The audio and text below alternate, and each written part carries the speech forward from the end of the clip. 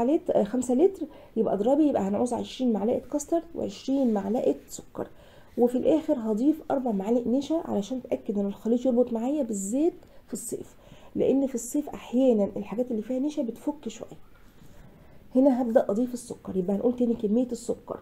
كل لتر هياخد أربع لخمس معالق من السكر وهياخد أربع معالق من الكاسترد البودر ومعلقة من الكبيره من النشا. حابة بقى أنت تضيفي السكر أكتر براحتك. ده حسب الرغبة بس أنا ما بحبش الحاجة مسكرة. هنا ده خليط الكاسترد بعد ما قلبته كويس جدا هبدأ أنزل بيه على الحليب. إمتى بينزل؟ لما الحليب يكون بيغلي. خلاص هو بيغلي أهو. أبدأ أنزل بخليط الكاسترد بس أنزل تدريجيا. بصوا أنا نازلة بيه من على جنب.